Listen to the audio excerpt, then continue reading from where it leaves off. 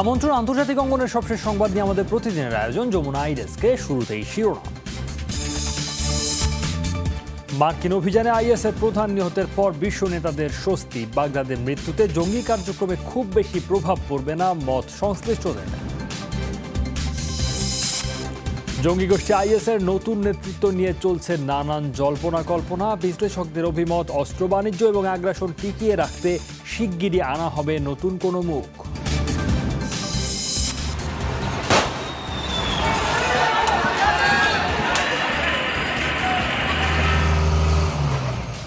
সরকার পতন, অর্থনৈতিক সংস্কার সহ বিভিন্ন দাবিতে উত্তাল ইরাক, লেবানন, কাতালুনিয়া, স্প্যানিশ ঐক্যের দাবিতে পথে হাজারো মানুষ।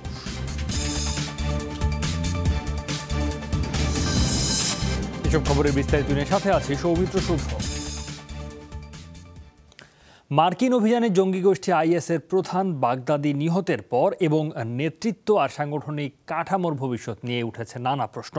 বিশ্লেষকরা বলছেন, বাগদাদির মৃত্যুতে সাময়িক ধাক্কা খেলেও খুব বেশি প্রভাব পড়বে না আইএসের কার্যক্রমে। মধ্যপ্রাচ্যে কিছুটা দুর্বল হলেও বিশ্বব্যাপী এর কার্যক্রম যথেষ্ট সক্রিয়। তাই আদর্শিকভাবে আইএসকে দমানোর পরামর্শ তাদের। দু হাজার চোদ্দ সালের জুনে ইরাক সিরিয়া সীমান্তের অষ্টআশি হাজার বর্গ কিলোমিটার এলাকা জুড়ে খেলাফত প্রতিষ্ঠার ঘোষণা দেন জঙ্গি গোষ্ঠী আইএস। সেই ঘোষণার মাধ্যমে আলোচনায় আসেন জঙ্গি গোষ্ঠীটির প্রধান আবু বকর আল বাগদাদি পশ্চিমাদের চোখে বিশ্বের সবচেয়ে ভয়ঙ্কর সন্ত্রাসীতে পরিণত হন বাগদাদি। তার মাথার জন্য এক কোটি ডলার পুরস্কারও নির্ধারিত করা হয়।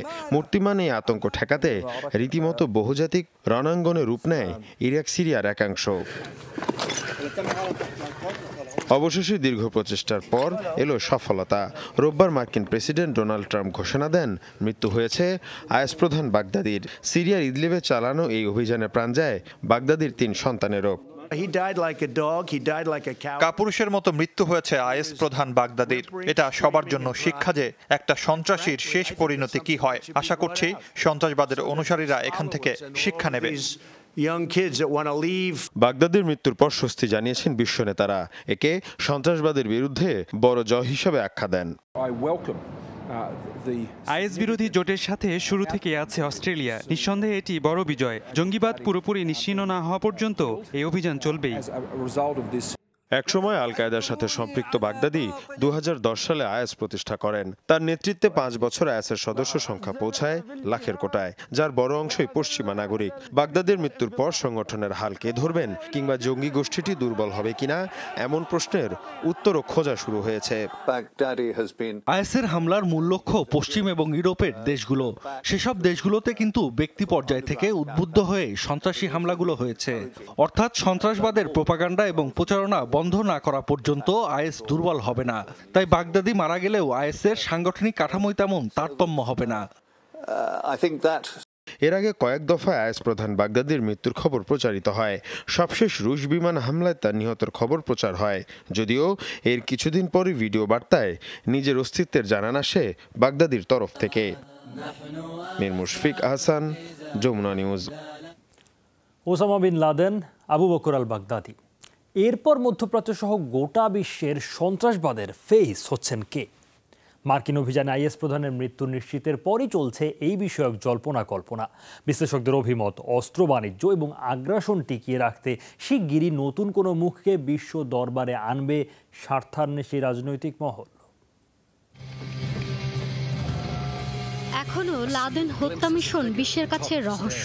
দুহাজার এগারো সালের মে মাসে পাকিস্তানের অ্যাবোটাবাদে চালানো অপারেশন নেপচুন স্পেয়ার নিয়ে বরাবর নিশ্চুপ পেন্টাগন। মার্কিন নেভিসিলের কমান্ডো আর গোয়েন্দা সূত্র থেকে জানা যায়, ঘটনা বিবরণী অভিযোগ, নাইন ইলেভেন হামলার মূল হোতা ছিলেন ওসামা বিন লাদেন।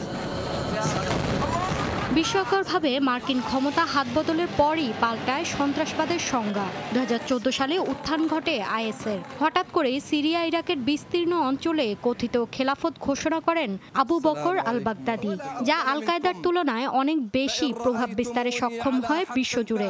কাঁপিয়ে দেয় নিরাপত্তা নিয়ে ইউরোপের দাম্ভিকতার ভিত। বিশ্লেষকরা বলছেন, সন্ত্রাসবাদের প্রতিনিধিত্বকারী দু নেতাই কোনো না কোনো সময় ছিলেন যুক্তরাষ্ট্রের মিত্র। ঘড়ির কাটা ঘোরার সাথে সাথে মিত্রই হয়ে ওঠে শত্রু। তবে বিশ্বের অস্ত্র বাণিজ্য মধ্যপ্রাচ্যে আগ্রাসন এবং সামরিক খাত সচল রাখার জন্য শিগগিরই নতুন মুখকে সামনে আনবে স্বার্থান্বেষী মহল। ভুলে গেলে চলবে না এ ধরনের জঙ্গি গোষ্ঠীগুলোর নেতৃত্ব ধাপে ধাপে তৈরি হয় অর্থাৎ দায়িত্ব নেওয়ার মতো আরও বেশ কয়েকজনকে প্রস্তুত রাখা হয়েছে। দ্বিতীয়ত আয়াস ছড়িয়ে আছে বিশ্বজুড়ে। আলাদা আলাদাভাবে তারা সেসব দেশে হামলা পরিচালনা করছে। তাই আদর্শগতভাবে আয়াসকে না ঠেকানো পর্যন্ত এটি নির্মূল হয়েছে বলা যাবে না।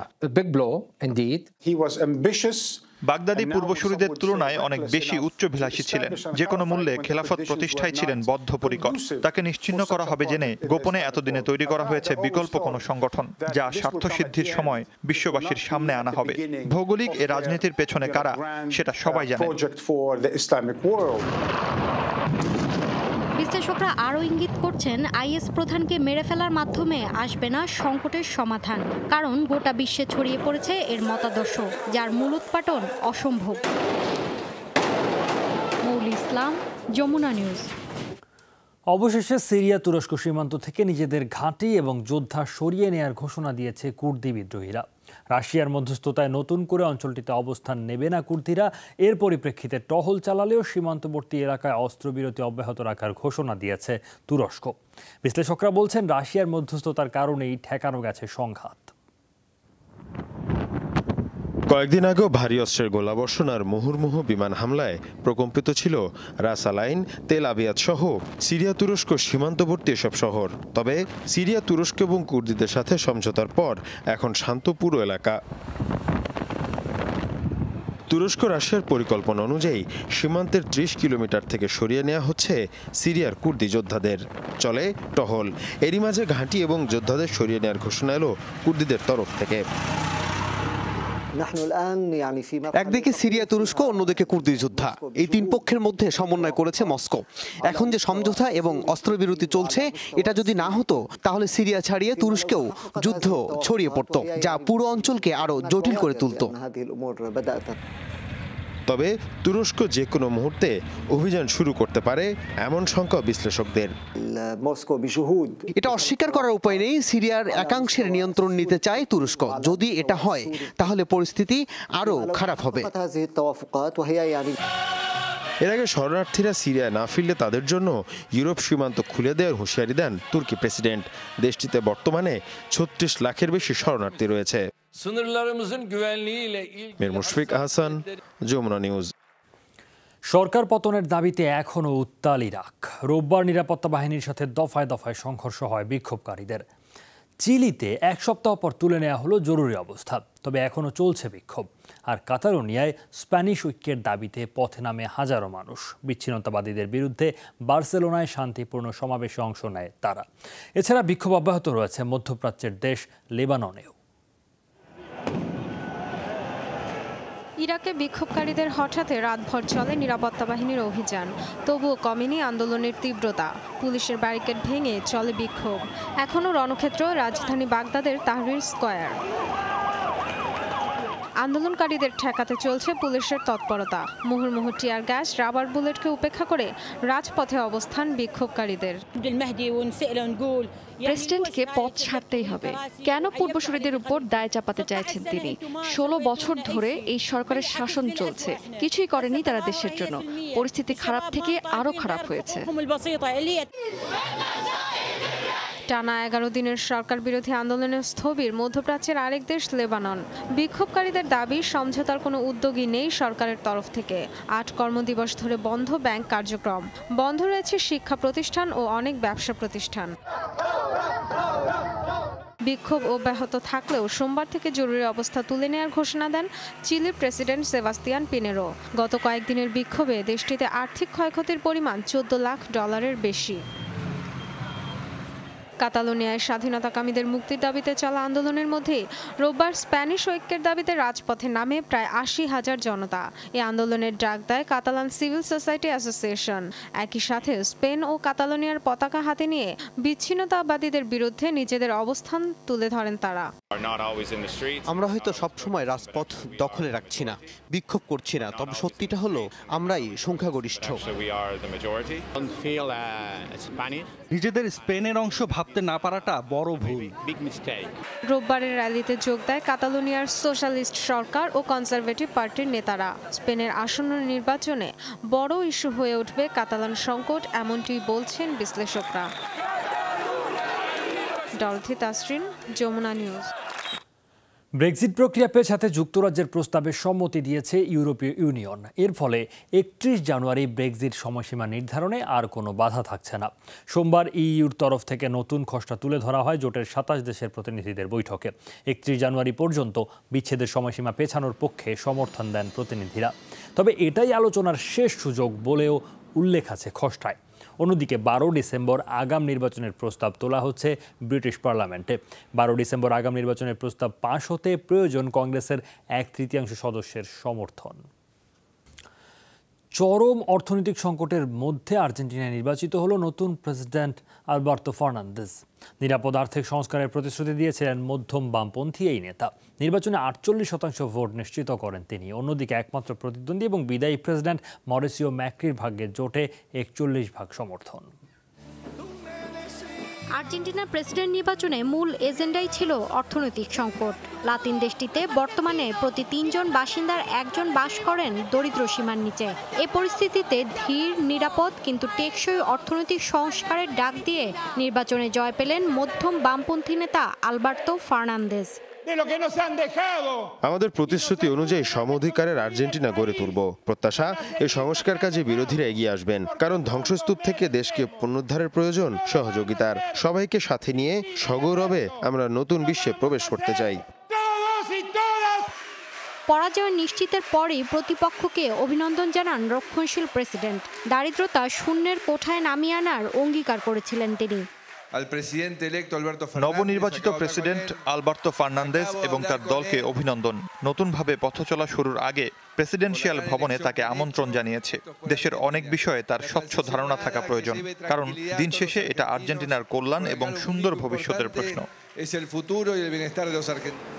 বিশ্লেষকরাও বলছেন আর্থসামাজিক পরিস্থিতির উন্নয়ন ফলাফলের ক্ষেত্রে গুরুত্বপূর্ণ ইস্যু হিসেবে বিবেচিত হয়েছে। সবার একটাই জিজ্ঞাসা কেন আবারও ক্রিস্টিনের দলের প্রতি ঝুঁকছে আর্জেন্টিনা কারণ দেশের পঁয়ত্রিশ শতাংশ মানুষ দারিদ্র সীমার নিচে বসবাস করছেন যাদের পনেরো ভাগের জরুরি সহায়তা প্রয়োজন।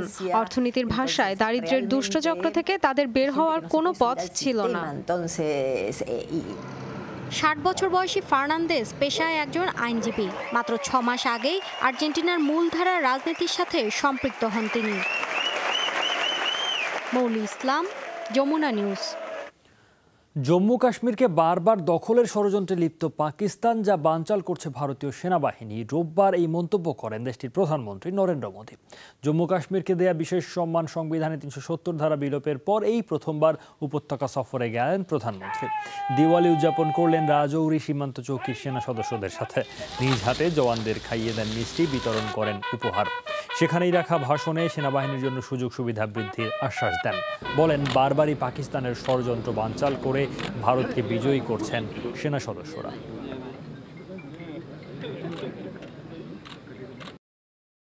চাই যুদ্ধ কি বাত হো ইনসার্জেন্সি কি বাত হো।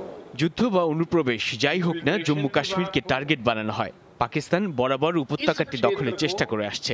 কিন্তু ভারতীয় সেনাবাহিনীর অপূর্ব দক্ষতায় আমরা বিজয়ী হয়ে আসি। দিওয়ালির এই উৎসবের দিনে তাই বলছি রাজৌরি সেনা চৌকি শুধু বিজয়ী নয় অজেয়। আর হর বার জিততে ভি রহে ভারতের মহারাষ্ট্রে সরকার গঠন ইস্যুতে আজ রাজ্য গভর্নরের সাথে আলাদা বৈঠক করবে বিজেপি শিবসেনা। মুখ্যমন্ত্রীর পদ নিয়ে দল দুটির মধ্যে চলছে কোন দল? বিজেপি বিধানসভা নির্বাচনের আগেই ঘোষণা করেছিল, দ্বিতীয়বার মুখ্যমন্ত্রী পদে বসবেন দেবেন্দ্র ফডনাবিস। কিন্তু দল ঘোষণার পর দলটির ভাগ্যে জোটে একশো পাঁচ আসন। অন্যদিকে শরিক শিবসেনা পায় ছাপ্পান্ন আসনে জয়।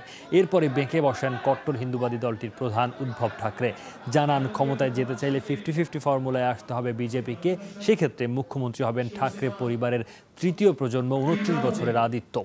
বিষয়টির ফয়সালা করতে বুধবার মুখোমুখি বৈঠক হতে পারে উদ্ভব ঠাকরে এবং কেন্দ্রীয় স্বরাষ্ট্রমন্ত্রী ও বিজেপি সভাপতি অমিত শাহ। মার্কিন কংগ্রেসের সবচেয়ে বেশি সময় দায়িত্ব পালনকারী কৃষ্ণাঙ্গ সদস্য জন কনিয়ার মারা গেছেন। রোববার নব্বই বছর বয়সে নিজ বাড়িতে মৃত্যু হয় তার। প্রায় এক দশক সামরিক বাহিনীতে দায়িত্ব পালনের পর রাজনীতিতে আসেন এই ডেমোক্র্যাট নেতা। উনিশশো চৌষট্টি সালে প্রথমবারের মতো নির্বাচিত হন হাউস অব রিপ্রেজেন্টেটিভস সদস্য হিসেবে। তিপ্পান্ন বছরের ক্যারিয়ারে বরাবরই সোচ্চার ছিলেন নাগরিক অধিকার নিয়ে। নারীর প্রতি সহিংসতা প্রতিরোধ, বিদ্বেষমূলক অপরাধ দমন সহ সংস্কারমূলক বেশ কয়েকটি আইন প্রণয়নে গুরুত্বপূর্ণ ভূমিকা ছিল তার। কৃষ্ণাঙ্গ নেতা মার্টিন লুথার কিং এর জন্মদিনকে জাতীয় ছুটি হিসেবে ঘোষণায়ও ছিল বিশেষ অবদান। যৌন কেলেঙ্কারির অভিযোগ ওঠায় দুই হাজার সতেরো সালে পদত্যাগ করেন কনিয়ার এই ছিল যমুনা আইডেস্ক। এতক্ষণ সাথে থাকার জন্য সবাইকে ধন্যবাদ।